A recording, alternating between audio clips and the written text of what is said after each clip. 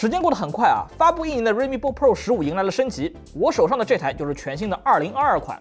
这台电脑首发搭载了 i7-12650H 加上 RTX 2050显卡，在配置上呢，相比上一代的四核 H35 加上 MX 450，可以说是飞跃式的提升了。那么这台散热重做、配置升级的 Redmi Book Pro 十五表现如何呢？看完本期视频，相信你能找到答案。我们先来看一下配置，CPU 是十二代的英特尔酷睿移动处理器，型号是 i7-12650H，十核心，十六线程。显卡是 NVIDIA 入门光追独显 RTX 2050，最大功耗六十瓦。内存为板载十六 GB 双通道 LPDDR5 五二零零兆赫兹。固态硬盘是群联主控，五百一十二 GB 容量，PCIe 四点零乘四速率。屏幕是三千二乘两千分辨率，九十赫兹刷新率，百分之一百 sRGB 色域的 IPS 屏。相比去年升级到了四百尼特亮度，参考售价打在屏幕上了。接下来我们看一下外观，二零二二款的外观呢和上一代改动并不大，整机呢用了 CNC 一体成型工艺，做工表现不错。变化比较大的是接口，左侧是雷电四加上 HDMI 加上耳麦孔，右侧是 USB A 加上 USB C 加上 SD 读卡器。接口数量有些偏少啊，再加上呢电源需要占用一个位置，如果有比较多外接用途的话，只能使用扩展坞作为辅助了。不过有一点我还是非常喜欢的，就是它采用的读卡器。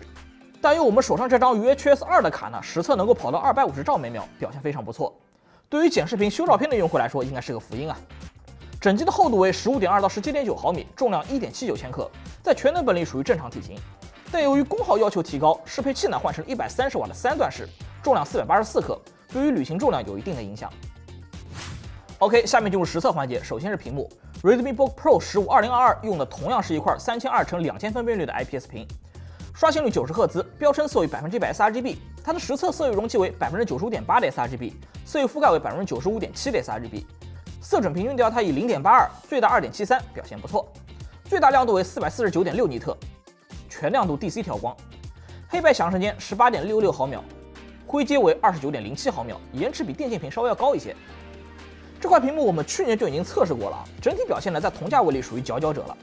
今年不仅亮度提升，平均调它也调得很好啊，标称小于一点五，我们实测下来呢小于一，是同档位里素质第一梯队的屏幕了。下面我们来看一下性能，CPU 部分，Redmi Book Pro 十五二零二二搭载了英特尔第十二代移动端 H 四五，型号是 i 七幺二六五零 H，这颗 CPU 我们也是第一次测。规格部分，工艺采用的是最新的英特尔七制程，拥有六个大核，四个小核，一共十六线程。大核单核最高频率四点七 G 赫兹，全核四点四 G 赫兹。小核单核最高三点五 G 赫兹，全核三点三 G 赫兹，三级缓存二十四兆，跟 i7-1270H 相同。我们先来看一下跑分，十五次 R 二十循环，首次得分五千三百四十六分，后续平均在五千一百分左右。跑分过程中，i7-12650H 第一次先跑到了八十七瓦，随后功耗缓慢下降到六十瓦附近，之后每一轮都会先跑到六十五瓦左右，缓慢下降到五十六瓦。大核频率三点四 G 赫兹左右，小核二点八 G 赫兹左右。单核部分，R 二十的单线程分数六百九十一分，与 i7-2700H 接近，相比上一代处理器有不小的提升。同样，这颗处理器我们也进行了电功耗的测试，在四十五瓦的情况下，R 二十多线程分数为四千三百八十九分，低于 i7-2700H 的四千八百六十三分。如果把功耗压低到二十五瓦，R 二十为三千二百二十七分，仍然高于同功耗下的 i5-11300H，性能相比上一代的提升还是很大的。接下来我们来看一下这张新显卡 RTX 二零五零。它采用的是 GA 幺零七 S 核心，CUDA 数量为两千零四十八个，显存为 GDDR 六，容量四 GB，位宽做了阉割，只有六十四比特，等效显存带宽是十四 Gbps。在 Redmi Book Pro 十五二零二二上，这张 RTX 二零五零的最大功耗是六十瓦，由四十五瓦的基础功耗和十五瓦的动态增强组成。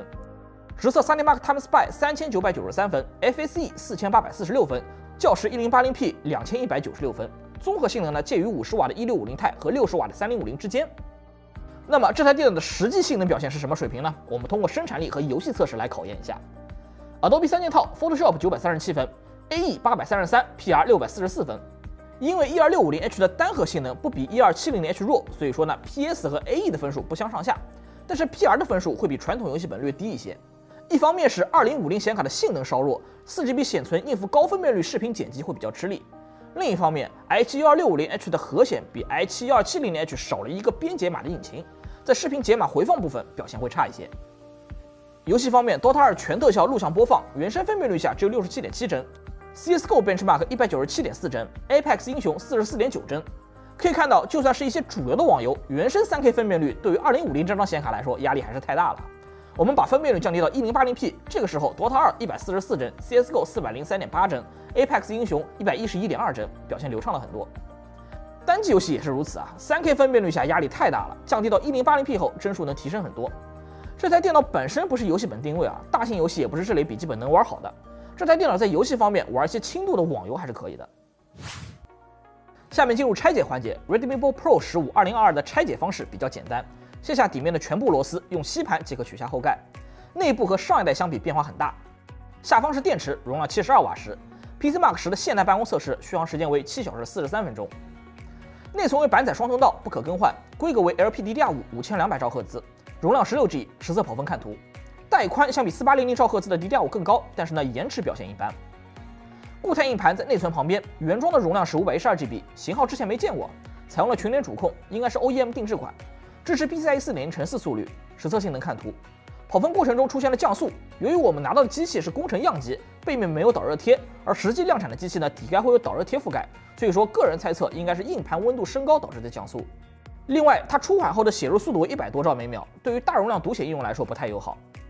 上方是散热模组，由双风扇加三热管组成，两根热管串联了 CPU 和显卡，剩下一根热管负责供电部分的散热。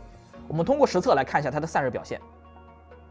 室温二十五摄氏度，单烤 FPU，i7 1 2 6 5 0 h 九十六度，封装功耗五十五点八瓦，计算核心功耗五十四点六瓦，大核三点三 G 赫兹，小核二点七 G 赫兹。单烤显卡 RTX 二零五零六十三点七度，功耗四十九瓦，频率一千七百四十兆赫兹。关闭八倍抗锯齿后，温度六十八点五度，功耗六十瓦，频率一千六百十二兆赫兹。双烤 CPU 八十七度，封装功耗三十五瓦，IA 功耗三十三点七瓦，大核二点六 G 赫兹，小核二点四 G 赫兹。